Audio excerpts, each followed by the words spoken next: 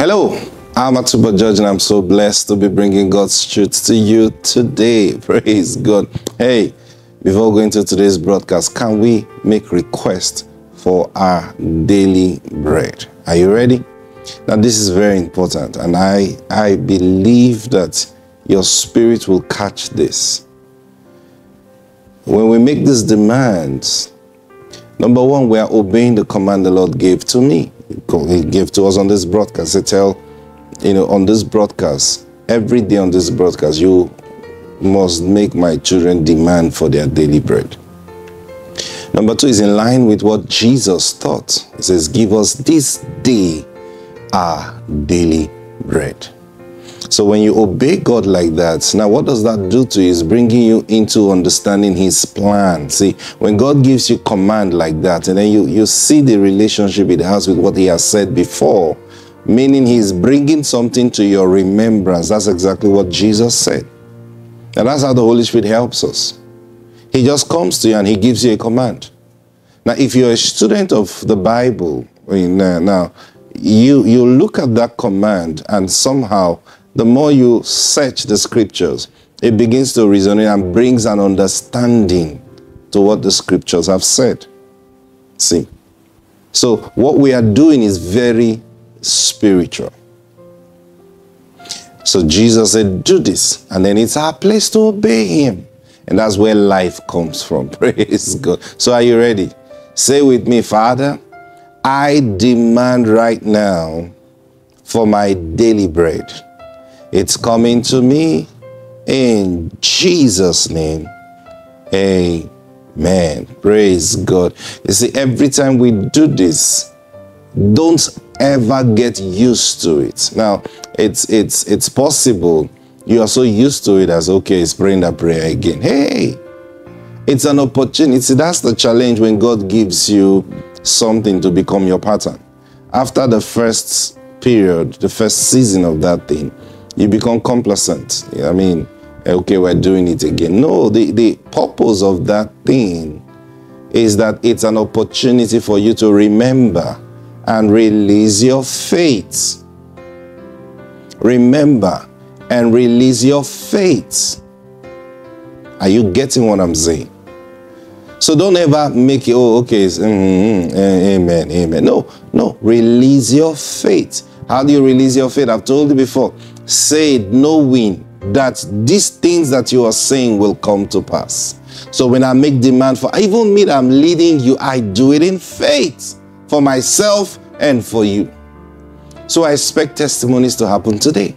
I expect provisions to come to me today. What kind of provision? Whatever I need. If it's peace I need, if it's money I need, if it's um, favor I need, if it's the need is to find someone somewhere, they are all needs and it's all part of your daily bread. It could be healing you need in your body. It's all part of your daily bread. Because someone is getting healed today. Praise God. Thank you, Holy Spirit. We just bless you, Lord. Thank you for fulfilling what Jesus said, that you will guide us into all truth.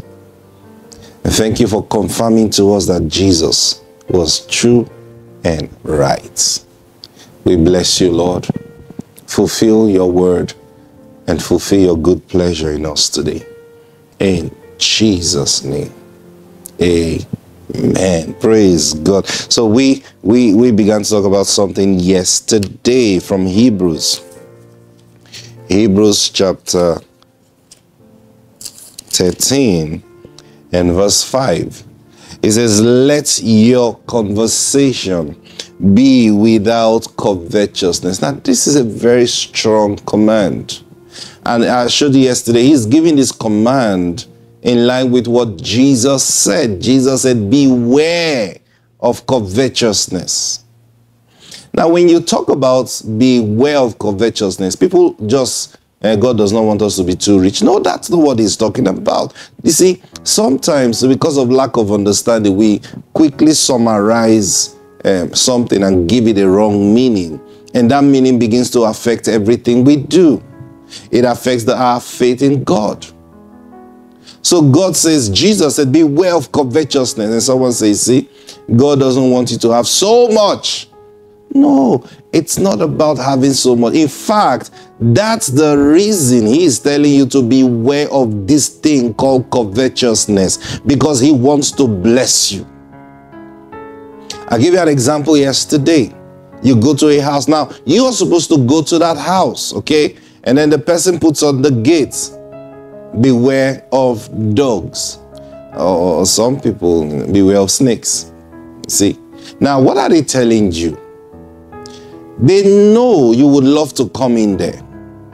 They know you may be given access into that place.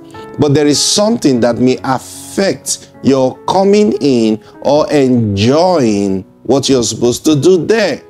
So, in order to help you so that you will plan yourself and know how to go about it. It's not a way to tell you not to come. Now, of course, if you're an unwanted visitor, you understand what I'm saying? Now, for if really it's for unwanted visitor, they are not even supposed to put it there. You come in and see what you get. But because of visitors who may legally um, be welcome in that place, they put those signs. Yeah, they put those signs. So now when you're coming in, because the dogs are not kept outside, so why do you put beware of dogs on your gate for dogs that are inside? It has to do with only those who plan to come inside. See that now? So you are coming inside. We want you to enjoy your stay, but there are dogs here. So ask the right questions, understand your, the way you go around here, so you will have a wonderful stay. Are you getting what I'm saying? So God wants to bless you. This is not in any way something to show because people have this different kind of mindset. See? So Jesus met the rich young ruler. You remember, I told you that story yesterday. And this man was so rich and blessed by God. He was a good man and he was wealthy. He's kept the command of the Lord. He said so, and Jesus did not rebuke him or say he was lying. Jesus, beholding him, loved him and said, Go sell everything you have, give to the poor, and come follow me.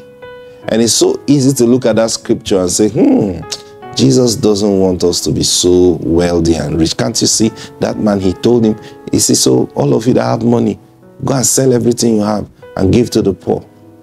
No, today they won't say give to the poor. They say bring it to church. Praise God. That's just it. Praise God. So, you, you know what I'm talking about.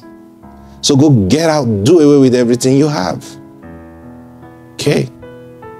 And give to the poor. Okay. Or give it away. Okay.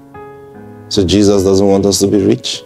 Jesus doesn't want us to have things. No, not at all. But you see, that man came to Jesus with a question I want life. He was rich a lot of people would just be okay to get to his level. Man, if I get to his level, ah, what else do I need? That's life now. But imagine this guy had all he had, but then he still was searching for something that he didn't have. Not physical thing now. He's got all those physical comforts. Now, it tells you one thing. I want you to li- really listen to what I'm telling you. It tells you one thing that that guy began his journey with a sincerity of purpose. He began his journey not to have money. There was something his heart was yearning for. And because he was yearning for that thing, he began to please God. Now, in pleasing God, he got rich. Because he told Jesus, he said, All these things I've kept from my youth. I don't think he was keeping all those things from his youth so that he would be rich. No. No. If that was his target, then he, he, he would, I mean, he would have looked at Jesus and said, I think I'm even more righteous than you because what do you have? Because physically, Jesus didn't have much. You, you won't rate Jesus as a rich man. You understand what I'm talking about? You won't rate Jesus as a rich man in his day, the day he walked this earth. So there were people who came to Jesus and they knew they were rich. See? Now, so this guy started out his journey yearning for something deeper. Now, in the process of pleasing God for that thing, he became very rich. Now, having become very rich, he still had questions in his heart. I don't think I've gotten there yet. I don't think I've gotten there yet. Ah, there's something more to all these things I have. So he heard about Jesus and, and, and he, he saw the works of Jesus. And I think this man carries what I have. I think so. So let me go meet him. And then he came to Jesus and he says, Look, sir, I need life. What must I do? See, that was the question that was in his heart beyond everything that he had. What must I do that I will have life? And Jesus said, You know the scripture, keep it. Now, the same thing, you know, it's funny. The same thing this man has been doing from his youth. So when Jesus said, You know the scripture, keep it, he said, I've kept these things from my youth. Meaning, there's something more. There's something more. And, and Jesus looked at him and loved him. Why did Jesus love him? Because this is one person. You know, there are people that met Jesus, that got Jesus really excited. This was one of them. You remember that, that scribe that came to Jesus and asked Jesus. And funny enough, the two people that really pleased Jesus, they were people that came with questions. Now, the question they asked was not, you know, there's a way someone asks a question, like this person just wants to bother me. But there's a way someone asks a question, you know that, hey, this person is digging into something really deep.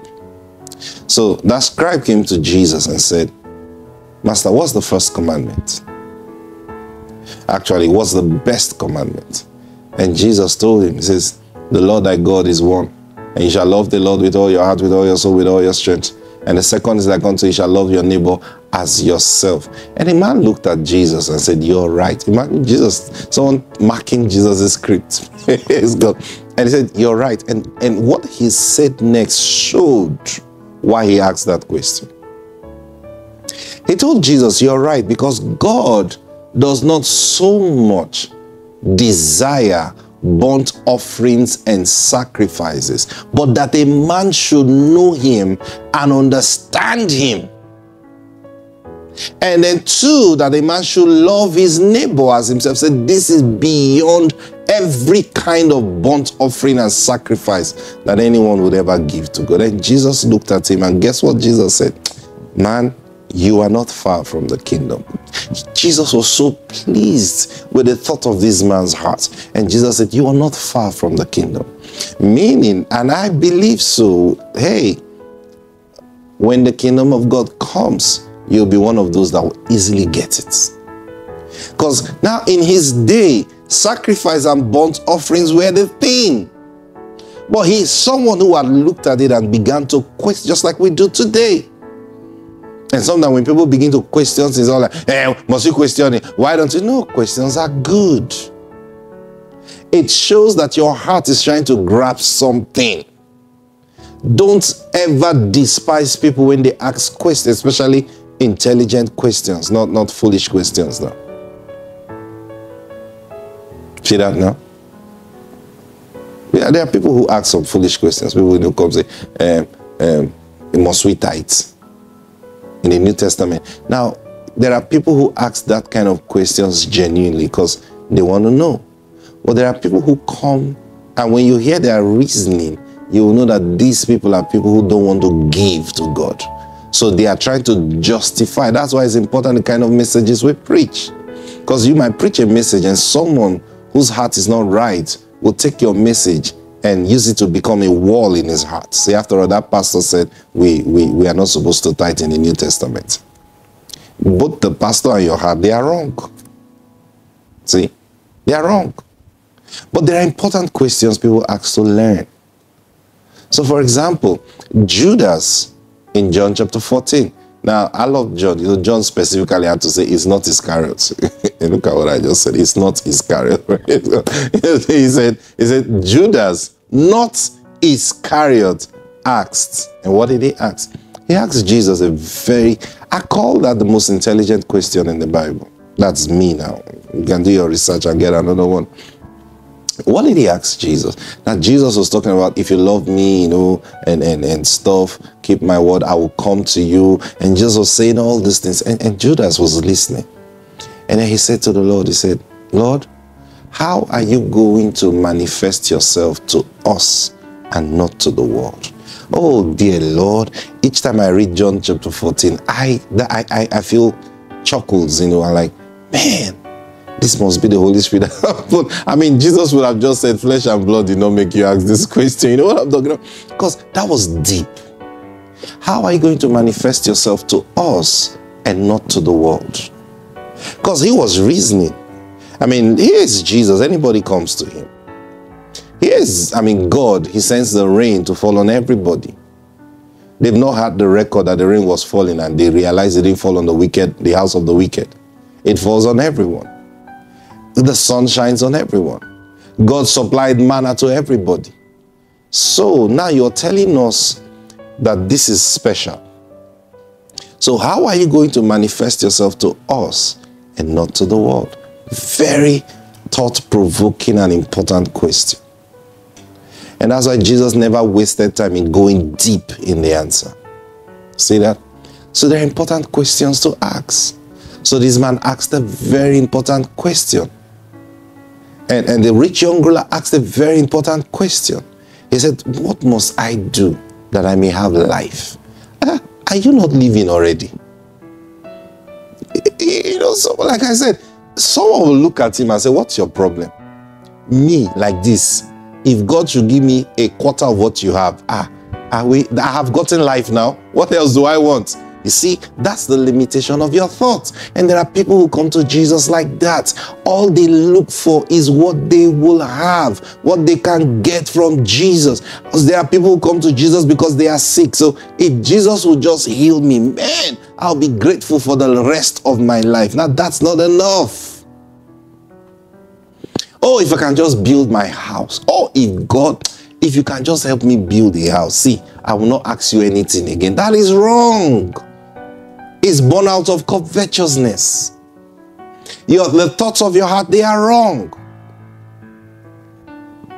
You remember, um, um, um, you know, as I say these things, thoughts are just coming to my spirit. You remember um, Philip when he was in Samaria, and then Peter and John came over, and they began to lay hands on people to, to receive the Holy Ghost. And this man named Simon saw what was going on, and he brought money to the, the, the apostles. And he says, Sirs, take money Give me this gift, so on whom I lay my hands on will receive the Holy Ghost. Now, you want to think about it and say, I mean, the guy was thinking of how to further the gospel, so he wanted to sow seed into the lives of the apostles to contact. Yeah, we do it today. Praise God. You know what I'm talking about. If you want to contact this anointed, come and drop a seed. You know, we do those things today. They look okay. But hey, this man, see, sometimes if you don't, and that's that's why we have, um, and because truly, truly, do you know if they could have communicated that gift in, uh, upon him? Oh yes, they could have done that. Done that. I didn't say they should have done that. I said they could have done that. It would have worked. But Peter was minded. You see, he he he he, he was, you know, you know, I believe you know, the, the, same thing, you know, like Ananias and Sapphira said, and Peter, full of the Holy Ghost, said to them, okay? I believe Peter was full of the Holy Ghost when he replied Simon. He replied him, he says, you're, you're wrong to even think that the gift of God can be bought with power. The man didn't say he's coming to buy the gift of God. He's coming to, you know, sow seed into their lives. Praise God. But Peter was able to trap his thoughts. What was his thoughts? Ah, if I get this thing and add to my ministry, I'll be good. That's the same thing a lot of people think today. But hey, that's covetousness. That's covetous. covetous. You see someone functioning in the anointing, and he tells, Oh, if I get this anointing on my life, ah, my ministry is made. Covetousness. That's covetousness. Because you are thinking, see, covetousness is not the act, it's the thinking, the thoughts of your heart. So,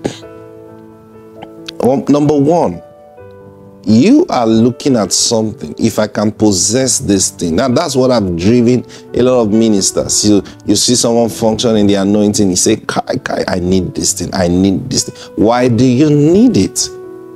I'm not saying it's wrong to desire it, but the question is, why do you need it?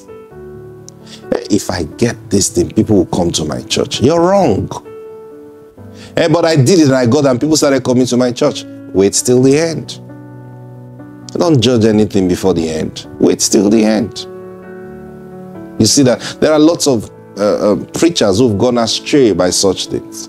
They've left the core of what God have called them to do. And they, they, they, they because they were desirous of another person's gift and they went after the gift. And there's a principle that that would, that would cause that to work. So they, they, they actually literally sell everything they had. I mean, gave into that anointing. And they continued giving into the, that anointing. And soon they began to function in the anointing. Now, it looks good today. It looks wonderful today. The testimony looks stunning, you see. But then you don't realize one thing. Covetousness may have been the root of that thing. Yeah, but Paul says, covet earnestly the best gifts. Okay. I won't go into that today because my time is up. Praise God. But I tell you this truth. When Jesus said, Beware of covetousness, it's something you need to check your heart for. I'll see you tomorrow. God bless you. Bye.